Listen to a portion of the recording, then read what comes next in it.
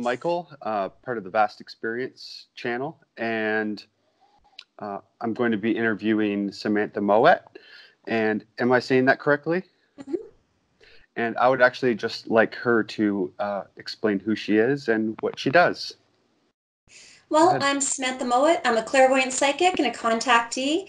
I've been a contactee my entire life, and I'm from a lineage where contact occurs on both sides of the family. On my mother's side, my father, for a lot of their siblings, their children, going back multiple generations. I've been able to track at least four generations, and I can't go back further than that, purely based upon my grandparents never thought to ask their parents or their own grandparents if they were having contact because realistically the terms for contact change so it'd be very difficult to ask them but yeah mm-hmm. what would you like me to say michael well why don't we start with um, your relationship with your parents and grand and um, with their parents so that um, kind of get a background of how you grew up and uh, how it was having contact within your homes. Oh, well, that's always a fun one. Um, I'm one of those very rare contactees in the sense that my mom and my dad are both really wonderful people.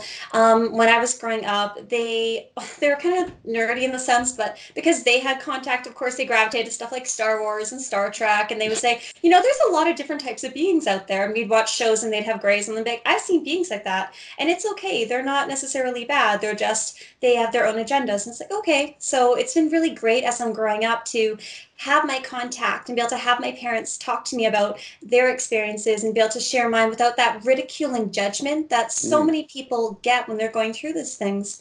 So that made it a little bit easier. Um, when it's kind of funny because when I was really little, we moved around a whole bunch with my parents being in the military. And so it didn't matter whether we lived at one end of Canada or the other, contact always followed.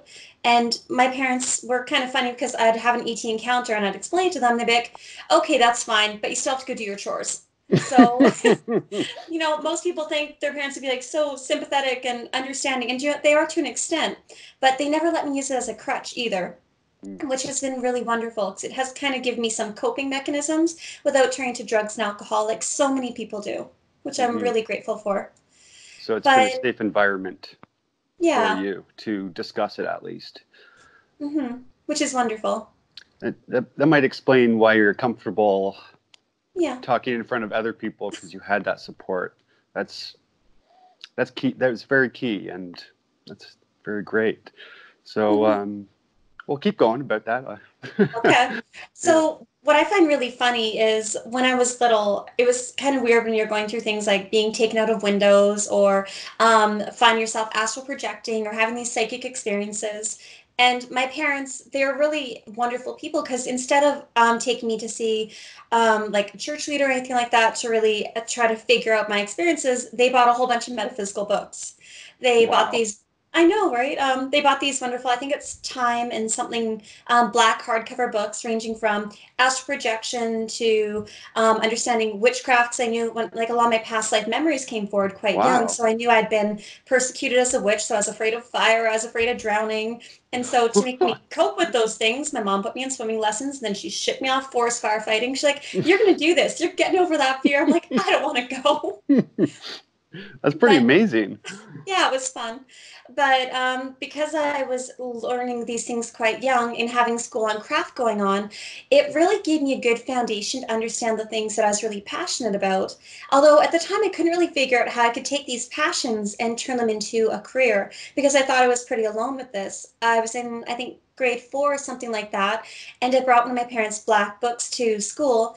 And I think it was honestly the one about UFOs, which is really funny. And I got made fun of by the other kids for mm. bringing a book about UFOs for show and tell.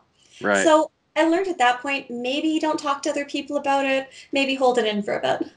Mm-hmm. So, you know, stuff like that happened quite a bit.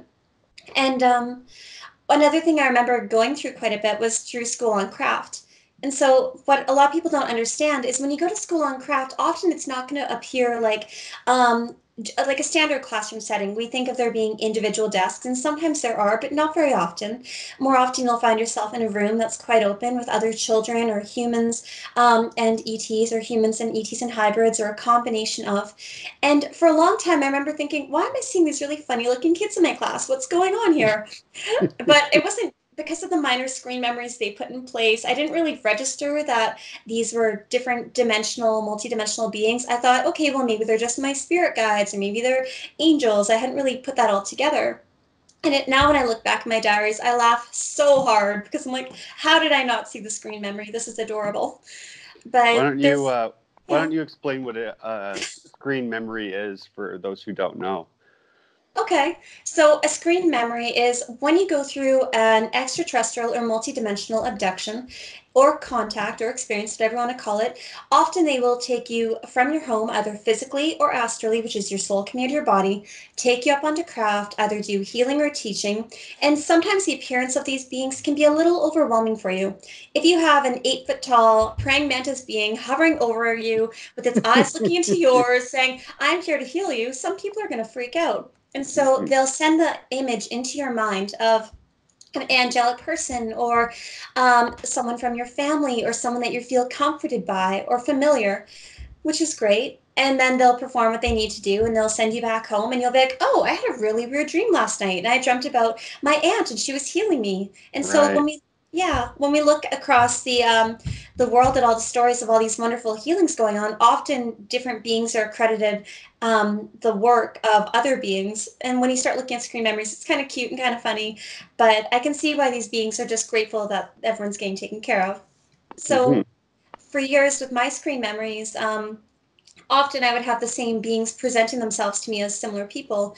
For instance, when I was younger and I was seeing my twin brother Danny, who died in the womb, he decided not to incarnate, and so because he chose to, yeah, um, he chose to assist me from craft, and instead I would come down here, and he would act as like my counterpart. And so when he would come see me when I was little, he showed up as a little boy about my age from like two, three, four, five until I was about six, seven years old when we were moving across the country again. And when we were going to move, he said, Hey, I'm not going to be seeing you for a while. And that was the last time I hmm. stopped seeing him as like a hybrid type being, a boy with like really big eyes. And looking at that now, there's no way he would have shapeshifted to physically being in that form. So I now know it was a screen memory, but I'm okay with stuff like that because I see how they're doing it with loving intention. So would that be considered uh, a guide in in a sort of way now, or kind of? Um, just in a way. Yeah, because a lot of the beings that are working with us on a telepathic level through claircognizance or sending people downloads of information are acting as spirit guides, but they're not necessarily the same thing as spirit guides. It's a bit of a gray zone trying to figure that out. Interesting. Mm-hmm. So um, a lot of people aren't familiar. They've probably heard the term spirit guide, mm-hmm. but they can come in many forms and shapes, as I understand. Um, yeah. So, why don't you go into some of your spirit guides and the interaction with them? Okay, so I love my spirit guides. They're pretty funny. Um, the first two I met are named Michael and Sarah. Michael is Archangel Michael. He works heavily with me in this lifetime, which is great he's the one who told me that it was okay for the extraterrestrials and multidimensionals to be presenting themselves to me in their true forms and that the majority of the ones that are coming to see me didn't have negative intentions. He did warn me about some of the ones who would have negative intentions, though, which is great. And for me to use discernment. Um, Sarah is, um, she's interesting because she's actually a ballerina, which sounds really funny to think, oh, well, why do you have an angel? And why do you have ETs? And why do you have ballerinas? Um, but the reason why, I know, um, the reason why she chooses that form is she's actually a multidimensional being that has incarnated on Earth before. And in the time period that she lived was in the period of Mozart, and her occupation at that time was in ballet. And that's part of why I have such a strong connection to dance and through self expression in that form. But um, she's here to help me more with my understanding of self and learning to better cope with being a human because a lot of star seeds don't do a good job of coping with it. Um, I do have some fairies that work with oh, me. I think oh. I lost your picture. I see that. I lost I you. There it. we go. There we go. Yay we got it. Good job. but um, so what's going on with the spirit guides and how they can be different is Phoebe. Um, this being that works with me. He's a bit of a variety of gray, but his head's kind of bulbous at the top. And he's one of my spirit guides as well. Same with the little tan being, same with Danny, my brother. He's acting as a spirit guide because when I'm having issues happening on my body, often he will come see me or he'll send me telepathic information of what I can do to fix them. And so we have a lot of different beings that work with us. But when people think about the term spirit guide, they tend to have it very limited. They think about um, just the humanoid type beings that are working with them. You know right. what I mean? Yeah. Not seeing how Familiar. it's grander. Yeah. Yes. But it's kind of funny because one of my children has um, a Lyran being that works with her as her primary spirit guide rather than an angelic being. And so when I first met this being, I was a little confused going, why is there this tiger? Why is it a tiger half the time? Why is it a bipedal tiger? Because the memories about Lyra hadn't really come in really strong to me when she was a baby. And so I was a little bit confused going, what's this about? Right. So yeah, it was quite nice to get to meet the different beings. Right, right. So um, what are the type of be what are the types of beans that you may see most often or that come around the most i guess? Um lately it has been mostly humanoid grays hybrids reptilians. Um, orbs are pretty common. I know it's it's a bit of a gambit. Um, That's i do have lately. yeah. I do have andromedans come around a fair bit. Reptilians seem to they're not all good they're not all bad like any other race. But um, it seems as though how can i explain this nicely? It depends upon what my vibration is doing as to who comes oh. around me and what is going on. And so when people think, oh, well, you've got reptilians coming around you, your vibration must be low. Well, no, a lot of these beings are very high vibrational, incredibly telepathic. Um, a lot of the ones are trying to also explain, hey, we're not all bad. Please don't judge us right. like that. And so even like you and I talked about a few days ago, one of my more recent encount- encounters in the last month and a half was where I was um, taken up onto craft and I was in a classroom like setting with it being half reptilians, half humans, a mixture of male and female. And had a reptilian, reptilian male beside me on to my right, a reptilian female in front of me to my left. And it's kind of interesting when you find yourself on craft being taught with these beings in a school like setting, going, okay, I know we're here to learn because we're all facing the same direction and our attention's supposed to be over here and it's kind of like hazy on the outside. But you look at how these encounters with them go and it's so interesting because like even this year alone, I've met different types of reptilians. I've met some that had like clothing on them um, that were very bipedal. I've met velociraptors before. I've met ones that are um, like six foot tall black reptilian who was therefore he's like a warrior caste. And then, but how can I explain this? Um, he didn't wear clothing, but he did have a tail to him that was quite thick, and he was um, moving me from one location to another. And they're so different than people are expecting. They think that they're all going to eat you, and some of them will. Please don't get me wrong, but we can't necessarily judge these beings until we realize that they all have different vibrations, and you have to really trust that intuitive sense inside of you. And I've gotten completely off topic, but um, you're going in a in a direction that yeah. I wanted to uh, move in. So Perfect. I've heard more and more stories mm-hmm. Um, with other people and even on YouTube channels that there's quite a bit of reptilians that are trying to get away from their old factions and are trying mm-hmm. to move into a higher vibration and become a better being, right? Mm-hmm.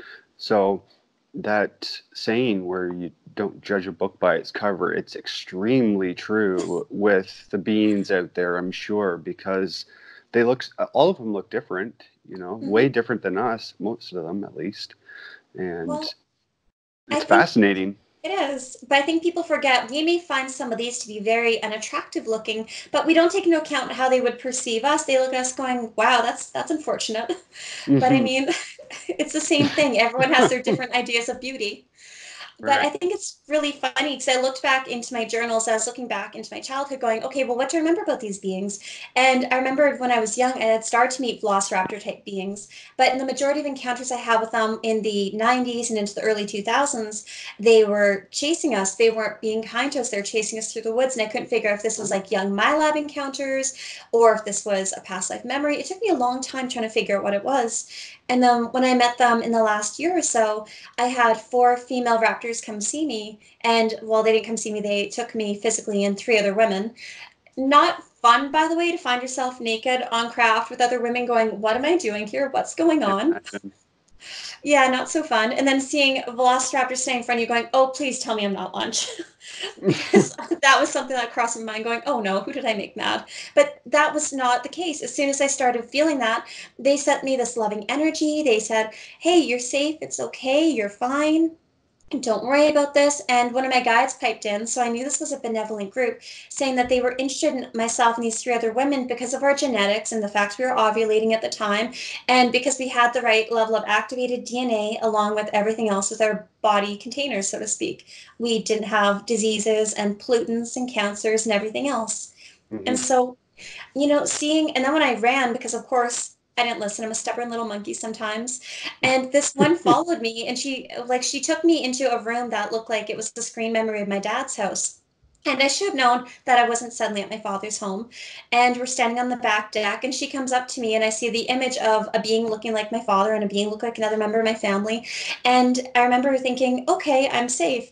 And the being walks up towards my dad, and my dad's not moving. And I realized that afterwards, this probably wasn't my dad. That's probably a being presenting itself as my dad. And it's saying, look, we're not going to hurt you. We just, you have a contract with us. It's okay. And so, looking at that now, seeing how the relationship has changed, it's really made me reevaluate how I view some of these beings because it's not even that our initial thoughts are always completely right but i mean we all change timelines. They're changing timelines. We're all evolving. So we have to really take that into consideration too. What are you trying to think michael? Or what are you thinking? You're all blue. Oh am i? Trying to say something? Is that the throat yeah. chakra you're talking about? Yeah. Figured so. So, uh, well, I, I, had a lot of questions going through there, but um, mainly uh, you talked about contracts, and mm-hmm. Uh, I'd like to go into that a little bit, but also um, how many contracts are out there and what is the reasoning behind these contracts? So there are probably just as many types of contracts out there as there are thoughts in the universe you could have a contract for any number of things. You could have contracts for hybridization, you could have contracts to spread knowledge, you could have contracts for abduction to, um, let's say, for instance, you could be someone who chooses to incarnate into a human body. Let's say, for instance, your soul is a gray, and you're like, well, you know, we can't abduct these people and find out this about them because you know the right. But if you incarnate into that human body, we'll abduct you from birth till death, and we will check the pollutant levels on the planet. We will check the hormonal levels, the psychological things. You'll, um, some people have contracts contracts in place where they get abducted and the information that they see and hear and sense is then sent into devices so that it can be replayed for the ETs to see exactly from like a boots on the ground perspective. So, I mean, there's a whole bunch of different contracts out there. Some of mine include things like um, helping to make psychic abilities more normalized, helping to show the diversity of life in the universe in a way that's not threatening, because it isn't my intention to be a fearmonger. Um, I don't really appreciate people who do that. I understand it. But um, another one of my contracts obviously is hybridization. Another one is to act as a bit of an intermediary between humans and these beings. So it can be a little bit frustrating when you look at these contracts. Most soul contracts are done before you are born. I did make a contract in 2015 saying that I would help any being that feels it is being misrepresented in the human media because I was watching YouTube and I started bawling one day because someone was just ripping into the Greys and saying that they were all bad and all evil and they're all demons. I'm like, I beg to differ. I've had these things heal me so many times and show kindness to me. Wow. And so I sent out that contract, and lo and behold, I start having the floodgates open, having all these different beings saying that, hey, well, we don't feel like we're being represented clearly. And so if you start talking to them, it's important to have boundaries, which I didn't have at first. And so I've asked my guides and the beings I work with to act as um, kind of like legal counsel with the other beings of, hey, look, she's not going to have just anyone working with her because I don't want to open myself to possession. I don't want to open myself to um, a lot of the more heavy negative things that are going on. Right. But yeah, it, there's a lot that goes on with contracts. You can break them if you, oh, you do have you can. Um, you can i know my girlfriend misha johnston um, starseedawakening.org she was able to break all of her contracts. So if anyone listening to your program michael has contracts in place that they feel they'd like to get rid of i do recommend contacting misha and she could give you the tips and the tools to do that. She broke her contracts with the um, beings that she has because of the intensity of the MILAB situation she was going through and some of her contact as well that's not something I choose to do, but I can understand her reasoning. Yeah, yeah. Mm-hmm. I, I understand that it can be quite hard for a lot of people out there mm-hmm. going through those types of situations and how confusing it must be and coming to grips with that sort of thing must be whew, difficult, right? It is. So mm-hmm. um, I kind of wanted to move into the area of what you're doing right now um, I, I believe you're in the midst of writing a book, maybe. Yes, right? that's right. Um, what's going on is I've had a lot of contact, and I keep asking them, "Can you help me remind, like, remind myself, remember all of the contact I had that I've pushed away? What am I not remembering from my childhood, from my teenagehood?" And just to give you a hint, this is what I've remembered so far. Oh my goodness! that's a four-inch binder, and wow. that's just going back to 2010ish. So, you know, I've got about 25 more years down on top of that. So, so it's mostly journaling in mm-hmm. there, and that, that's what you're going to present into the book, and then kind of right. describe.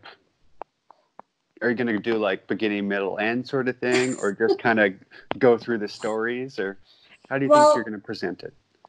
Part of what I was thinking about doing as far as presentation is concerned is starting in 2014, catching up to the present, and then releasing stuff before 2014 in a different set of books. Um, the reason why I choose that year in particular is that is when I came out of the ET closet. And so I thought that would be the best one to really share. Um, when I when I look at everything, I don't want to push my opinion on people, but I would like for them to see it from what I experienced. And I have gotten better at recording with time, but when I look at things, I write down every detail I can remember um, from what I see, hear, smell, think, sense, you name it. And I want it to be a bit of a, um, almost like a research material for people. So that, yes, it may say, okay, well, it was January 1st, 2015. Um, I was at this location. It was astrophysical, psychic, and this was the being I encountered, and then stating the beginning all the way to the end about what it is I experience. Because for those who only want to learn about certain species, if they realize, hey, it's about a reptilian, I don't care to learn about that, great, go ahead and skip it. Go to the next one. Mm. If you just want to learn about Andromedans, or Arcturians, great. Here you go. And I was going to have them organized in there about alphabetical list for species. And then if you're only wanting to learn about certain groups, whether it's humanoids and Pleiadians, and I was going to have it labeled as well so they can only read those sections if that's what they prefer. That's pretty cool. Thanks. So, do, so um, why don't you give us uh, an example of uh, one of these stories that is in there uh, that you're planning on putting in at least? Okay. Um, oh, that, I don't have my glasses on me. Okay. How about from um, memory then, if uh, if that serves well? Memory's pretty good for the most part. Okay, let me think. Oh, give me a species. That way I can think easier. Because there's, I'm going through tons in my head trying to break it down. Uh, either Arcturian or Andromedan. You choose. Ooh. Okay, so one of my all-time favorite encounters that I share way too often is, for example, it occurred in the spring of I think 2014. We lived in Mission, British Columbia. It was a physical encounter during the daytime, and it was with an Andromedan being. I was carrying laundry from our main level, going up the stairs, going to my kids' room, so I just folded it. I put the laundry basket down on the bed, and I could see the sunlight streaming in through the window. And as I'm picking up shirts and hanging them in the closet, and of course I'm going like this over there, I look across the bed, and there's this cute little um, Andromedan being physically standing there with this cute little brown head. It's oval shaped, it has a pointed chin, and he's up kind of like this, and I can see his black eyes. And as soon as I'm turning back, so of course you see them, but you're turning because you're in action and um, and I look back, and of course I can't see him because he's kind of like ducked down. He physically ducked down. He didn't disappear. and so I sent him this message of "I can see you," and I could feel this like radiating giggly energy coming out of him because you have to look at it this way. If they deem you not to be a threat, if they know you're mentally stable, that you're not going to hurt them, these beings will come see you in the daytime. They will come see you when you're conscious, but you have to make it so that you're not going to go at it in such a way that's going to put you or them in danger. Because if I scream bloody murder and call 911, I mean, that's a bit of a problem. Yeah, I could so, see that. I mean, look at it this way. For a lot of these beings that are coming to see their star seeds, they don't want to scare them. So that's two steps yes, it's two steps forward and come to see them, but that's like four steps backward if the human's now scared of them, because then it takes them six more months or six more years to move them forward again to that same place. It doesn't make sense. So they like to do mm. baby steps and how they acclimatize people to getting used to them. Yeah, I like mean, seeing UFOs first. yeah. Instance, and then maybe getting telepathy and moving Having forward from getting there. closer and then yeah. starting to see UFOs in your dreams and starting to see beings coming out of UFOs at a distance and so on and so forth. Mm-hmm. It is a gradual process. I mean, think of it this way. Um, another one that I talk about in this book is even some that I've had recently. Like, I just wrote this one down the other day, but um, I think it's August 17th, 2019. I was in Courtenay, British Columbia. Um, it was a nighttime encounter. Well, actually, it's very early morning, but I call it a nighttime one, so astral encounter. Nope, pardon me. My guides just corrected me, not astral. They're saying physical because they're saying I didn't go anywhere. Thank you, guides. Um, oh. But what they're, they're showing me and what they had told me was I was laying in bed. I woke up. I could feel craft above the, like my dad bought a camper trailer and we're camping out there because he had company over too. And I hear, like, I feel the vibration of craft. I kind of hear that humming sound that comes to craft. And I notice that my youngest gets up to go walk out of the trailer. I'm like, no, no. I'm like, you. No no. Come here. Come to bed. You're not going anywhere. I don't know who this is. You're not going. And so i honest i put up like energy protection on like our trailer that we're staying in. And then i'm like okay i'm going back to sleep. Who goes back to sleep when they know there's craft above? People that are, are programmed to doing it Exactly. And so I find myself um, having this telepathic communication a few minutes later.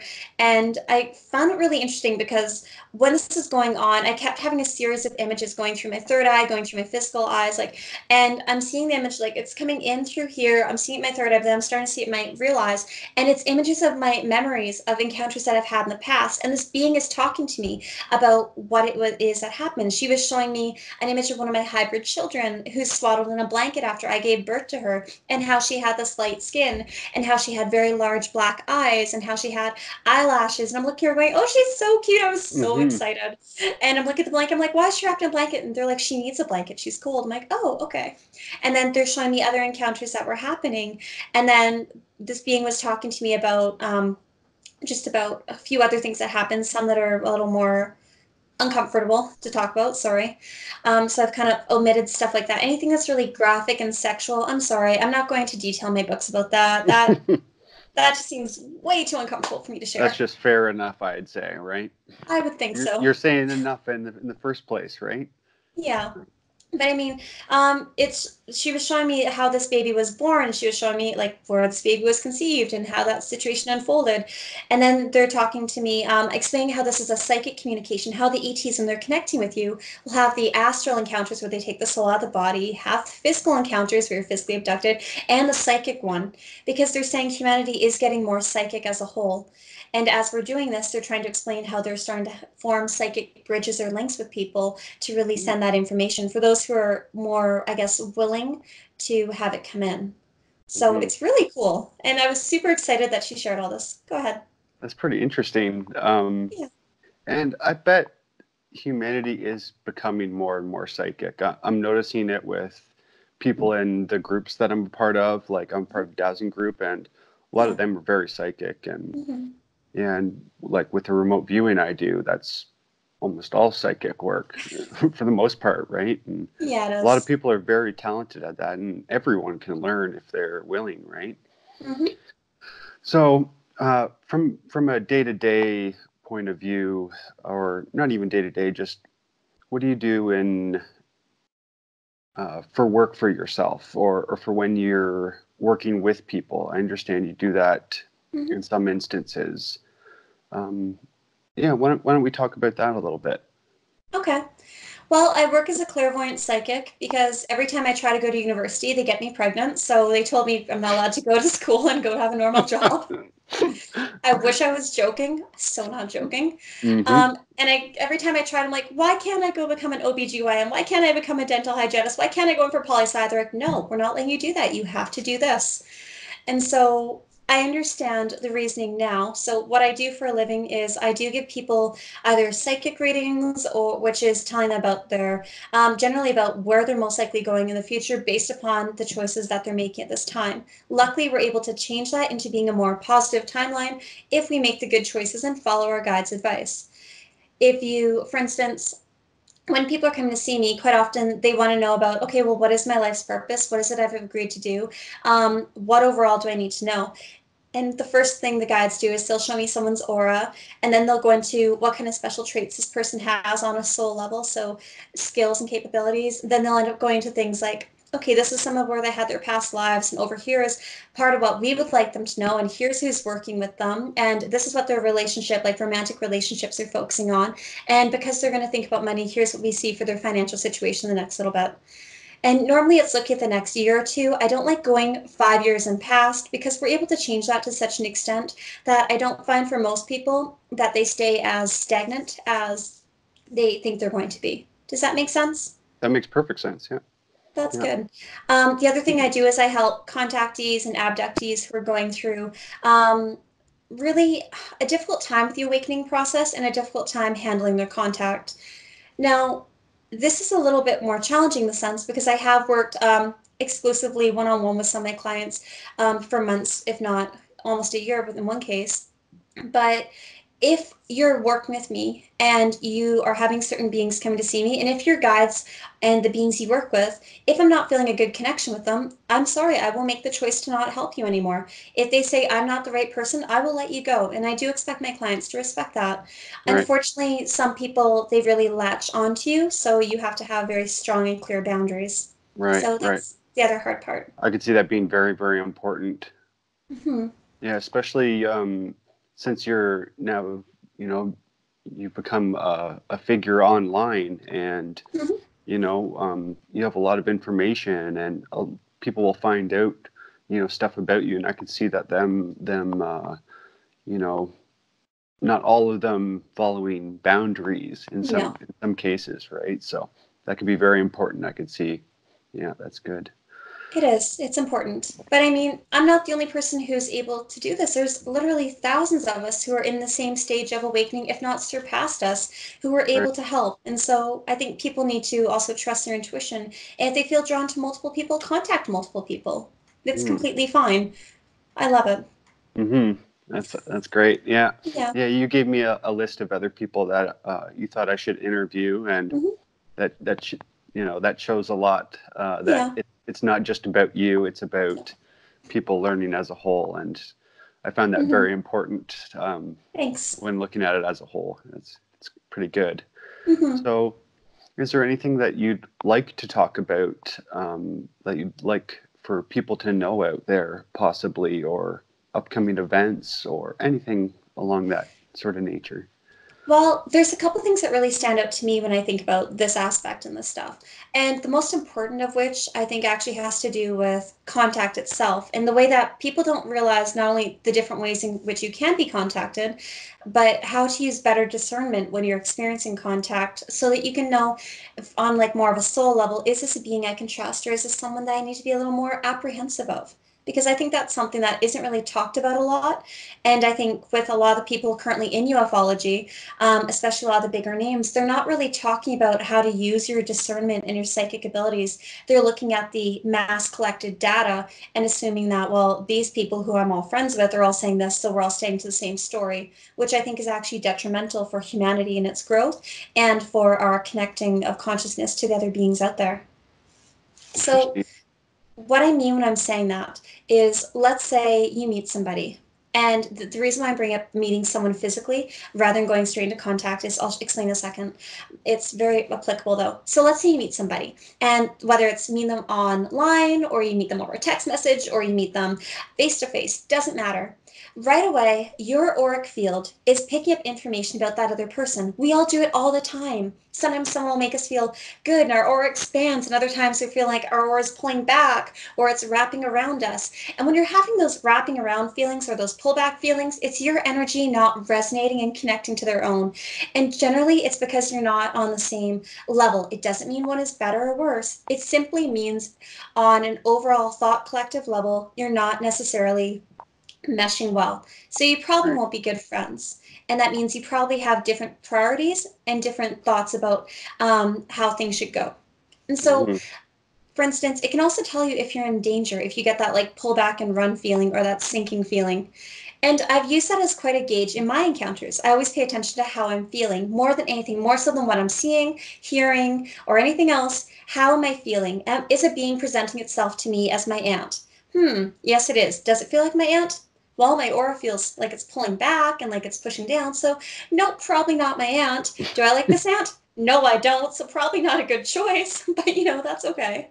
Mm-hmm. And so they stop presenting themselves as people like her and then someone would start presenting themselves as like my friends or my husband and i'm like you don't feel like you. And so when you're going through these encounters if something doesn't quite feel right like their face isn't maintaining shape right or they're not speaking like how they normally speak then know that it's probably an encounter if you're um, in your like you know you went to bed and you find yourself either in a situation that you're not sure if you're on craft or not chances are if they're trying to there are some beings that are kind of tricky and when I say tricky, I mean self serving. And it's not that they're necessarily a danger for us, but the energy coming from them is always swirling and moving. And it's almost like it's more of a manipulative energy.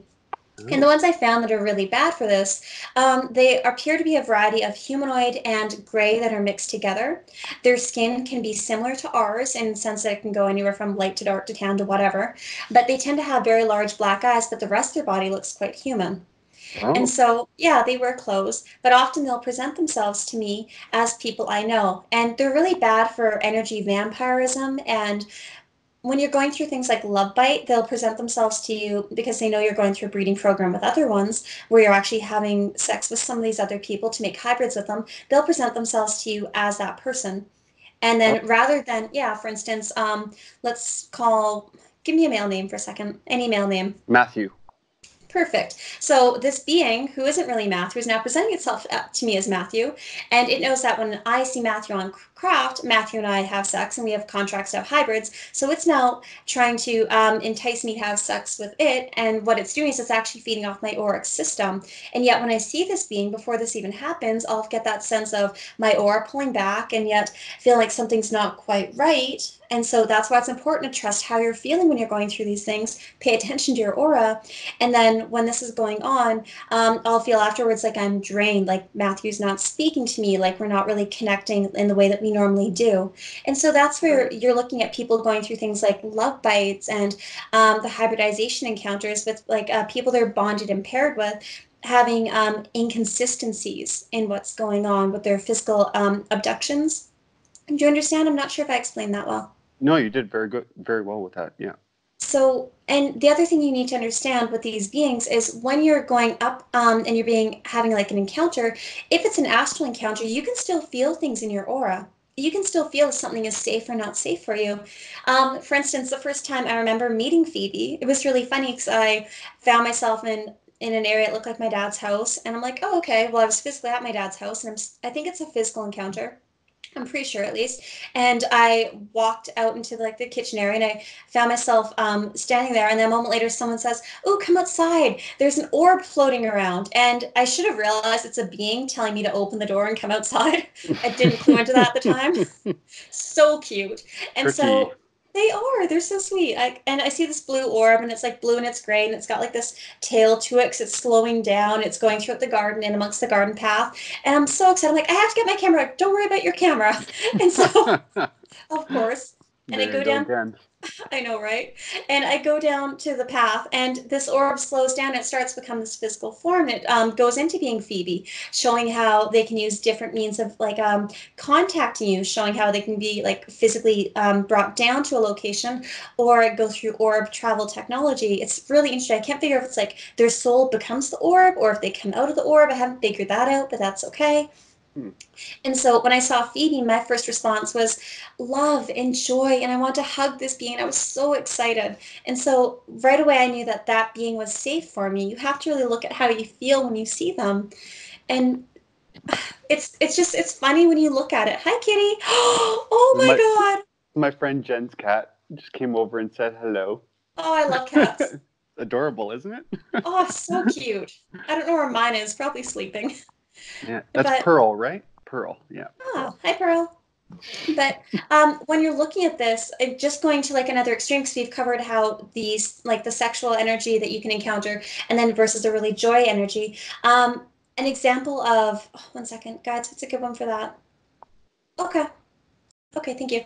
Um, an example of where you could be a little bit um, thrown off with all this is when you're going Okay. Um, when I was really sick one time, yep. One second. Sorry, they're talking to me. I'm just trying to get them to be quiet.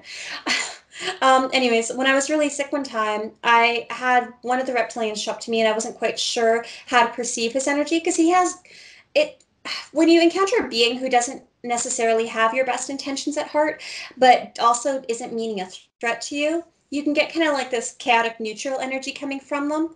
Does that make any sense? Yeah. Um, where it feels like under different circumstances they could be dangerous for you. And I remember when I saw him, um, I told him to go away because at the time I definitely didn't understand his energy well, and I didn't understand that that was his state of calm. I simply had him come into the room where I was, and I felt like, okay, well, I don't know you, I don't trust you, I don't want you here. And so I put up energy protection and pushed him out of my space. Whereas um, this one time it, we were living at our last house, and it was it was kind of intense because I woke up and I felt absolutely nothing. It like the energy felt like it was completely blank. It was completely clear. Like there was no strong read coming off of the plants or my husband or the kids. Everything kind of felt like it was just almost like it had a void of energy and it was really scary for me mm. because I looked and I didn't see our salt lamps on. I didn't see any of the night lights on, which was a bit of a like a red light for me because it's like we have we had small children at the time, and so you will always have night lights on in the hallway, in the bathroom, you name it. So you could see them at any point in the house. And I went up to like I got up out of bed and I went to flick the light up, thinking, okay, well the light's off, and I couldn't like the light wouldn't turn on, and I look and the fan's not on. And I remember looking in the windows thinking it was abnormally dark and almost to the point of being very, very scary. And then a moment later, I felt something um, energetically, I guess energy just came into our living room hallway type area because they were really side by side and i felt like it was coming towards me and i started to panic because i knew that whatever it is that was coming towards me it was there for me because i tried to shake my husband and wake him up and he wouldn't wake up and i tried to shake my german shepherd and she wouldn't wake up and i knew that something had just gone off because if you have ET encounters, yes, sometimes they will put your family to sleep, put your pets to sleep. But normally, if I shake them, they kind of like they groan or they'll like just be like annoyed. Whereas I had no mm-hmm. response from him. Mm-hmm. And I had none from my dog either. And so I remember my eyes starting to go black like this. And as this was happening, I had this anxiety, fear, and like whatever it was that was coming was very, very dangerous. Yeah. And when you have stuff like this occurring, you have to really pay attention because I knew whatever it was that was coming did not have my best intentions at heart. I knew that it was something that was malevolent towards me. And so you have to really trust that intuitive knowing that we all have. We are all psychic. We are all at least clairsentient, the ability to pick up the minor threads of energy. We may not all be empathic to the point that we can really sympathize and understand from the perspective of the energy coming at us, but we can all at least read the energy. And I wish that was something better discussed in ufology, the mm-hmm. how to better access and understand what's coming towards us. So, uh, after having something kind of scary like that happening, mm-hmm. how do you go about um, trying to normalize that and bring it into your everyday life? Because that's you know, something's got to be traumatizing or at least very difficult to deal with. Uh, so, how, how do you go about um, helping yeah. with that? Or mm-hmm. well, I do have PTSD. I'm well aware of that. Um, how I best deal with all this is I do yoga. I work out a few times a week, at least typically four times. Um, I do meditate every day. I don't do any drugs. I drink very little alcohol because I see how that could be a very slippery slope. And it's just not worth it for people like me. It's if you do start drinking, it would be the end of you because all all of your um, lower vibrational emotions will come up to the surface because you'll cut yourself off from those higher vibrational energies. Mm-hmm. Um, it does help to find a, like a support group or a peer group. And just going to plug Misha in again. Um, I love Misha's group because Misha Johnston does have amazing ones for um, contactees, MILABs, experiencers, super soldiers, depending upon what you're going through. It you do need other people like you to talk to because you can't even though my family has had contact, the degree of contact that they had is not even close to the de- degree of contact I've had. And I don't mean that in an arrogant way. I mean that in a way of it wasn't their life's purpose, it wasn't their soul agreement. So they did not need to have it. They were simply, in lot of cases, the vessels that needed to bring the next generations forward.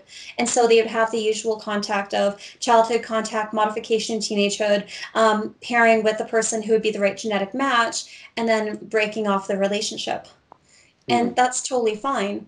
But for people who are going through this, the reason why I recommend working out, which I know we say working out, people are like, oh, I hate working out. I don't want to do it. It doesn't have to be bad. I mean, I personally love running. I love going to karate. You don't have to go to a gym if you don't want to. Yeah, so find that thing. That's nice. Yeah.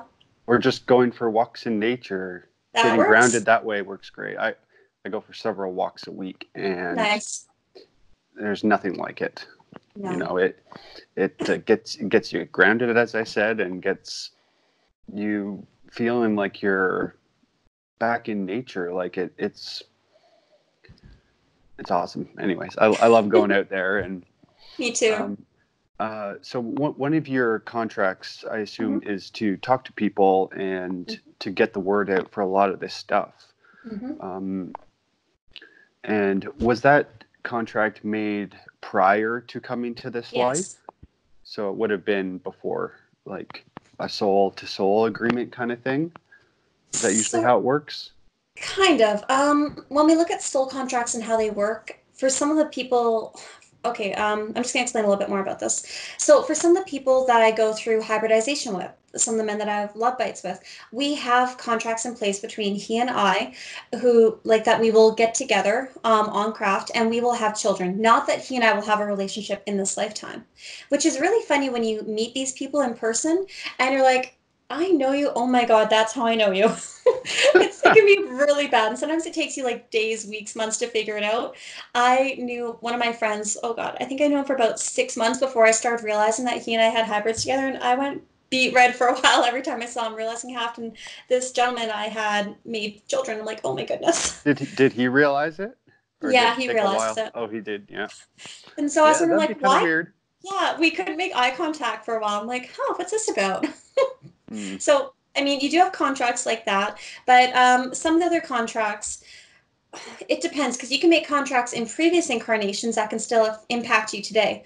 So when we look at soul contracts, if you make contracts like um, or vows or oaths or fealties in the Middle Ages, let's say you're a nun, let's say you're a knight, that you will now serve and protect this order or serve and protect this, then those contracts can still impact you today. Whereas when I look at the ET contracts that I have, they show me that I've been abducted for multiple lifetimes, going back hundreds, if not thousands of years, and so for me, going through contact, like contact, is something I'm very accustomed to, even on a soul level as a child. Like my earliest contact experience being being very sick, being coming in, healing my lungs, and not freaking out even when I'm being taken out of a window when I'm five or through the ceiling um, all throughout elementary school, going up into craft.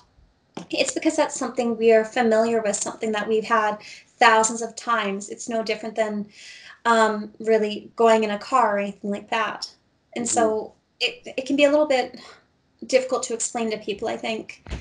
The harder contracts are ones I think where um, star seeds, in particular, like yourself and like mine or myself, um, who agree to have star seed children, and then having yourself go through contact and having contracts to raise these little star seeds, and those little star seeds having their own contact, and then realizing like getting to know the different beings that work through them, even if you don't necessarily have the contract with their beings, um, having new contracts kind of coming into place originally when I incarnated into this lifetime, I made the agreement to have three children. And so obviously the first two spots are filled, but now I've got like a bunch of different hybrids saying, Hey, I'll be that one, I'll be that. one. I'm like, whoa, guys, no. and because I kind of left before I came into this body, um, that third vacancy, it wasn't a set, it will be you. Whereas the first two were set you and you. And so that's part of why I have so much hybridization. Go ahead. So, so you um, yeah. did orbs come in, or do you have dreams about souls that yeah. are trying to really? That's that's fascinating. That's fascinating. It's fun. Well, so, that, before so that's two come. Well, I have one more to come. come. Yeah, he's wow. a brat, by the way. Oh my goodness. so you already know which one it is. Well, if it's the one who I think is coming, so I've had um it's kind of funny. I have this one little gray child who has shown me giving birth to him a good half a dozen times now. He is so stubborn. so bad. He showed me our last house, me giving birth in the kitchen. We and then we moved out of that house and we bought this house. And he showed me me giving birth in this kitchen. I'm like, I am not giving birth in the kitchen. Mm-hmm. and then he showed me like our next vehicle. And as soon as I walked into both those houses, I was like, ah, crap no, recognized? no, that means I didn't actually choose this house. That means that was already decided. Yeah. But here's the tricky part. You can have contracts to have these children, but if you make the choice, like let's say you and your spouse decide, hey, we want to stop at two kids, we're not having a third kid, they are going to try to switch out your partner and put a different one in and wow. they will do that. And that's something that's not really talked about a lot especially if you have contracts for hybridization. And like for the instance with my husband and i we decided after our second was born our second had a ton of allergies and we're like we don't want any more babies we're done. And so there's only so much crying you can take until we modified the diet obviously. And then because we did that it was within i think we had just made the decision we hadn't even gone forward with the like vasectomy. Sorry, hon. I know you're not to be happy with me for saying that. Um, but because we had made that decision, I started having ETs coming in place talking about, okay, well, you have a soul contract with this gentleman, and he currently has two children, and you guys could have one or two more. I'm like, no, I'm not leaving my marriage. And so um, I think I've had a good half a dozen up until this point where I've met different men on craft and then physically came to meet them in person who I had these soul connections with, who these beings are like, okay, well, you can still have really good children, earth children, because they're trying to get all the um, star seeds to incarnate down here. They're trying to get right. um, more of that energy raised. And so when you make the choice not to have these kids, it changes your soul contract around a bit because he and I technically are violating our contract. Mm-hmm. So. Yeah, there's a lot to that, I bet, eh? like, well, I guess looking at it from a human perspective, it mm-hmm. seems like there's a lot to it, but on a vibrational level or from what they see, it's very simple, set forward in a line, I bet, and much easier. Yeah. But uh, I can I can't imagine uh, how complicated it can be in trying to keep it all together. That's why you have your book there and why you can write those things down, trying well, to keep it set. And, you can't really see them, but I've got about 20 journals behind me. Really? Oh wow. Oh, one sec. Oops. There's a lot of journals. These are just the more recent ones from like 20, 2008 onwards. They're all full. Wow. So. Holy Yeah, yeah I've, got, I've got a few, but they're they're mostly just, you know. Yeah. I gotcha. So, yeah. So um, with um, with mm-hmm. people that you work with, that uh, so they uh, would I say they hire you to work with them on a one-to-one level, or like do they do mm-hmm. Skype session? Do you do Skype sessions with people, or is it how, do. how do you do it? Yeah, I prefer the phone over Skype just because normally when I talk to people's guides, my eyes are closed, and I just prefer to see them on more of a clairvoyant level. Whereas if I'm looking at someone, I tend to get distracted if you and I are talking, and then they chirp in, like chirp in, and I'm like, okay, just wait one sec, and then I always make these really funny faces, and I don't like people seeing me make them. So fair enough. You know, mm-hmm. that little tidbit. But so for me, I do most of my sessions over the phone, and I just find it to be so much easier for me, at least. So. Right, right. Yeah, I have been. Uh, Oh, uh, I've been using Skype with a friend when my Nice. internet was working, Mhm. and um, over Skype, and Mm-hmm. I would just we'd both click off the visual part and just use it as a phone, and it'd be a lot a much clearer audio Of course. that way. But And Yeah. that I totally love. I'm totally willing to do that. Sorry. they gave me something to drink last week um, in an encounter, and uh, my throat has been off ever since, but that's okay. oh, what what happened with that? With Well, the encounter? Well, I found myself on Craft, and they gave me this. I, it's kind of funny because it was presenting itself to me as um, a drink, and I thought for some reason it's, it was like a short glass, like that big, and it had like this white liquid in it. And I found myself feeling like I was kind of drunk or kind of almost like um, inebriated. And so I was like, "How much of this have I drank? I can't do this. I have to drive home. You can't have me do this." I'm like, "Take this away from me. Get me a cup of tea." They never brought me my cup of tea. I was so mad. of course.